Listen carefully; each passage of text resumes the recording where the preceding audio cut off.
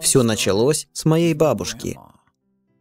Я был еще ребенком, когда врачи отправили ее домой в инвалидной коляске умирать. Диагностировали болезнь сердца конечной стадии. Было столько шунтирований, что у хирургов практически закончились трубки.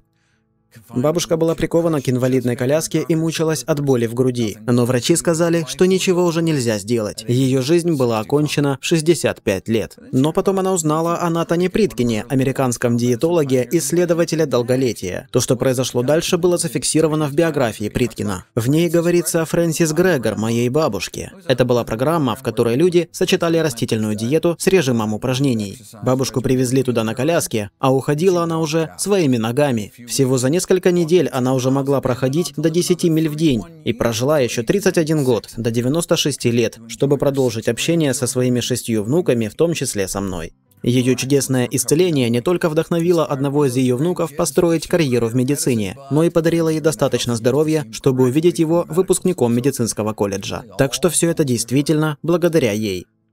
Во время медицинской подготовки я был потрясен, узнав, что все эти доказательства лечения хронических заболеваний с помощью изменения образа жизни, открытия артерий без лекарств, без хирургического вмешательства, игнорировались медициной. Стоп! Если лекарство от убийцы номер один могло потеряться в кроличьей норе, то что еще похоронено в медицинской литературе? Что могло бы помочь моим пациентам?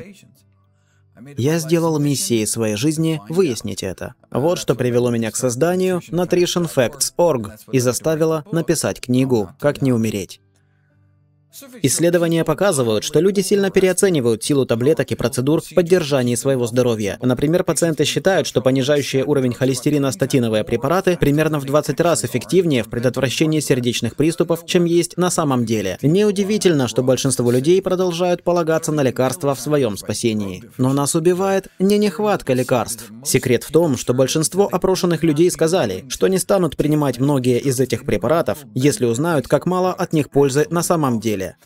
В то время как чистка нашего питания не только безопаснее и дешевле, но и может быть эффективнее в предотвращении, замедлении и обращении вспять некоторых из основных причин смерти, потому что лечится сама причина заболевания. Каждый год Центр контроля и профилактики заболеваний составляет список 15 главных факторов смертности, и у меня есть глава о каждой. Как не умереть от болезни сердца, от болезни легких, от болезней мозга, рака органов пищеварения, инфекций, диабета, высокого давления, заболеваний печени, печени, рака крови, заболеваний почек, рака молочной железы, суицидальной депрессии, рака простаты, болезни Паркинсона и как не умереть от так называемых ятрогенных причин. Другим словом, не умереть по вине врача. Это первая половина книги, и хорошая новость в том, что у нас есть власть над нашим здоровьем и долголетием. Подавляющее большинство случаев преждевременной смертности и инвалидности предотвратимы с помощью растительной диеты и здорового образа жизни. Но я не хотел просто написать справочник. Да, есть тысячи цитат, рецензий рецензируемых научных работ, но я хотел, чтобы это было практическим руководством по переводу массы информации в ежедневное решение, и это стало второй половиной книги. Во-первых, я начинаю с системы светофора, чтобы классифицировать все в продукты красного, желтого и зеленого цвета. Есть моменты, в которых я говорю о лучших доступных данных, свидетельствующих о том, что здоровая диета сводит к минимуму потребление мяса, яиц, молочных продуктов и переработанной еды, максимизируя потребление фруктов, овощей, бобов, гороха, нута и чечевицы, цельного зерна, орехов и семян, грибов, трав и специй. Настоящей еды, которая растет из земли. Лучший выбор для здоровой жизни. Некоторые продукты, однако, имеют особое целебное свойство, поэтому я формирую мои рекомендации вокруг списка ежедневной дюжины, который стараюсь вписать в мою повседневную жизнь. Например, рекомендую четверть чайной ложки куркумы в день, столовую ложку молотых семян льна, ягоды каждый день, зелень каждый день. Рассказываю о полезных для здоровья напитках, здоровых подсластителях, количестве упражнений. Весь список ежедневной дюжины с рекомендованными порциями доступен в качестве бесплатного приложения для Android и iPhone. Просто найдите Dr. Gregor's Daily Dozen. Существует только одна диета, которая когда-либо доказано реверсировала болезни сердца у большинства пациентов. И это растительная диета. Если все, что растительная диета может сделать, это обращение вспять убийца номер один мужчин и женщин, то не следует ли сделать ее основной диетой до тех пор, пока не будет доказано обратное? И то, что она также может быть эффективной при лечении, замедлении и реверсировании других основных убийц, таких как высокое давление и диабет второго типа, сделало бы растительную диету просто подавляющей. Большинство смертей в Соединенных Штатах, которые могут быть предотвращены, связаны с питанием. Итог наиболее тщательного анализа факторов риска из когда-либо опубликованных исследований исследования глобального бремени заболеваний, финансируемого фондом Билла и Мелинды Гейтс, причиной номер один смерти в Соединенных Штатах является наше питание. Причина номер один инвалидности – это наше питание, которое теперь потеснило курение до второй позиции. Курение убивает около полутора миллионов американцев в год, а неправильное питание убивает на сотни тысяч больше. Очевидно, что питание должно быть предметом номер один для преподавания в медицинских учебных заведениях. Главным, о чем врач должен говорить вам при каждом визите, не так ли?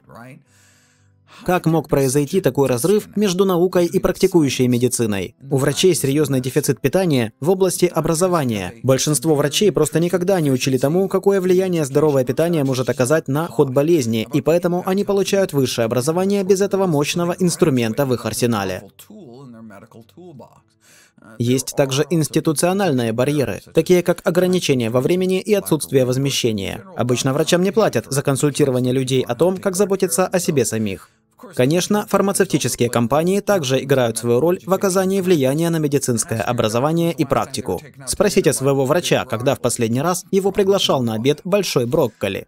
Это, вероятно, было очень давно. Это как курение в 50-е. Несколько десятилетий была наука, связывающая курение с раком легких, но она была проигнорирована, потому что курение было нормой.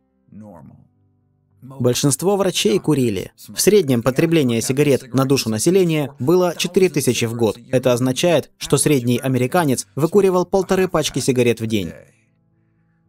Американская медицинская ассоциация заверяла всех, что курение в умеренных количествах не вредно.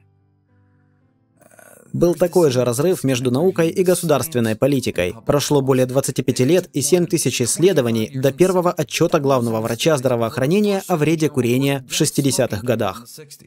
Логично предположить, что после первых шести тысяч исследований они могли бы как-то предупредить людей. Это была мощная индустрия. И сегодня производители мяса, сахара, молочных продуктов, соли, яиц и переработанных продуктов используют ту же тактику, тактику табачной промышленности, чтобы исказить науку и запутать общественность. До изменений в системе мы должны взять на себя личную ответственность за свое собственное здоровье и здоровье наших семей. Мы не можем ждать, пока общество снова догонит науку, потому что это вопрос жизни и смерти.